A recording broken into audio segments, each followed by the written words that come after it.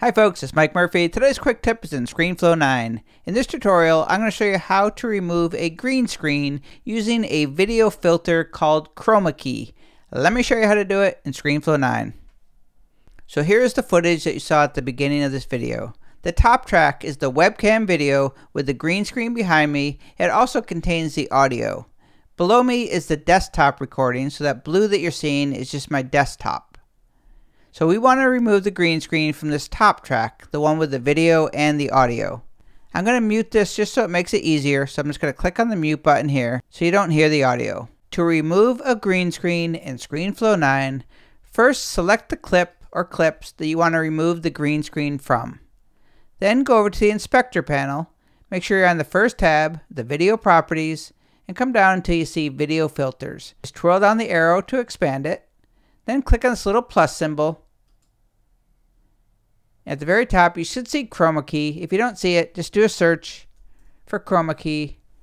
Then just click on the Add button. ScreenFlow will automatically try to remove the green screen, but you may need to adjust it depending on your lighting. You can toggle on and off the Chroma Key filter by just checking or unchecking the box next to Chroma Key. You can also use this with a video action this is handy if maybe you want to be talking for a little bit. You could add a video action, snap your fingers, then just check the box to remove the green screen behind you. Maybe have some cool effect behind you. When you add the chroma key filter, ScreenFlow will try to automatically produce the best results so you don't have to do too much adjusting. But sometimes, depending on your lighting or your camera, you may need to make some fine tuning to remove the background or maybe to remove some artifacts from your face. For example, you can see a lot of gray on my face. The background doesn't look good. So I'm going to start with the tolerance slider. I'm going to bring that up to about 15 or so.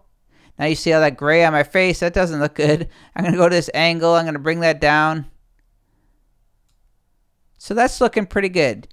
To crop in the sides or the tops and bottoms of your green screen footage, this is often useful to remove unwanted background items just select the clip on the timeline, then press and hold the control key. If you look at the bounding box, as soon as you press the control key, it'll go from a circle to a rectangle. And when you see the rectangles, all you have to do is just pull in from the sides to crop the footage. With the bounding box, you can also resize it or move the footage anywhere you want. So you can simply drag it around or pull in from the corners to resize it. To remove a green screen in ScreenFlow 9, select the footage on your timeline. Come over to the inspector panel in the video properties and go down to video filters. Just twirl it open, click on the plus symbol. Look for chroma key, select it, and click on add. And one other little tip. If you click on this little color swatch here, this color picker comes in, you can just click on it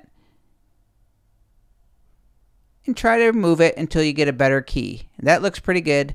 So click off, make some adjustments if you can. To crop in, select the footage till you see the bounding box. Hold the control key, you'll see it go from circle to rectangles, then just drag in and resize as needed. And that is how you apply the chroma key filter in ScreenFlow 9. My name is Mike Murphy. Cheers.